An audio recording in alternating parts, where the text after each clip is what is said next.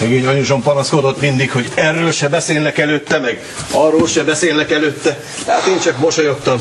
Mondtam, anyuskám, nem kell mindenbe beleütni az orrodat. Hát igen. És most itt van tessék. Én is akarom beleütni az orrom semmibe, csak nagyon nem szeretem, hogyha titkoloznak előttem. Ja. Azt mondják, hogy jó az öreg a háznál. Egy francot jó. Ha az ember csak pupa hátukon, akkor úgysem mondják el, hogy mi a bajuk. Aztán itt van a fiam meg a megyen magánügye. Meg aztán... Ja, francot művel! Bocsánat. Hozzá ne nyúljál, te barom! Még nagyobb kárt akarsz csinálni, mi? Maga megütött. Igen, és megint meg fogok ütni, hogyha hozzányúlsz, hogy egy rohadt drága gép. És még többet érnek a cuccok, amik benne vannak. A francba, föl tudod ezt fogni? Igen. Nem azért fizetlek, hogy te idióta rokonaidról tartsál kis előadást, hanem hogy takaríts. Én csak arra... Csak pofázol, ha pofázol, nem figyelsz a munkádra, mi? Takarodj innen a büdös francba!